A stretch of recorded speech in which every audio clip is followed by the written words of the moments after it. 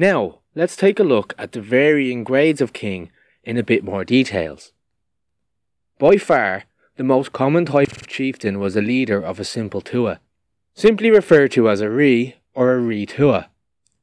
While it was not always the case, more often than not these chieftains of petty kingdoms would in turn owe allegiances to other chieftains, or he might owe tribute to another king of a higher grade, such as the Ri Tuath Mor, the king of a big Tuath.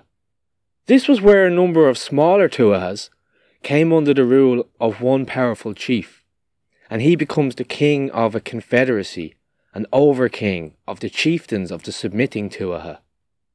And in turn, whether he is just a Ri or a Ri Tuath Mor, they too would find themselves in tribute to a king of the next highest grade, which usually meant a king of one of the five provinces of Ulster, Munster, Connacht, Leinster, and Meath.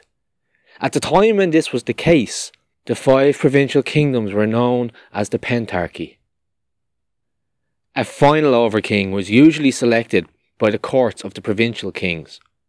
This King of Kings would traditionally rule from the province of Meath, and the High Kingship of Ireland bears particular significance to the Hill of Tara in modern day County Meath, otherwise known as Chearnaree or Tara of the Kings.